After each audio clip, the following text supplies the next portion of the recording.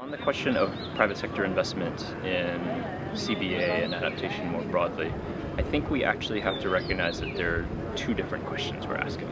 So there's one question, which is the dominant question, I think, in the climate negotiations, which is can we mobilize large amounts of private investment um, into adaptation activities?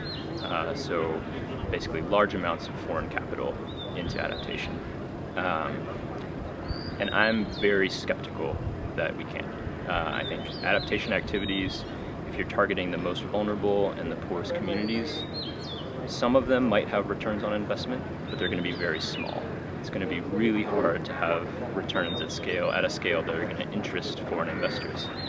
Uh, and even if you do get returns that are large enough, um, adaptation is such a locally contextual activity uh, that if you find a way to, to scale up in a way that's friendly to private investors, um, you might lose some of that context. And so you might end up with maladaptation, activities that aren't appropriate uh, in some places, and so on. Now, there's a second question that I think is much more interesting, which is how do you engage private sector actors at the local level and domestically? Uh, and this question, I think, is absolutely key. Uh, I think for any sustainable adaptation strategy, for any sustainable development strategy, um, you have to engage private sector actors.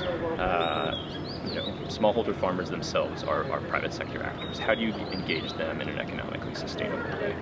Um, you know, how do you build uh, domestic capacity in various uh, industries and, and, service provision and so on as part of a sustainable development strategy?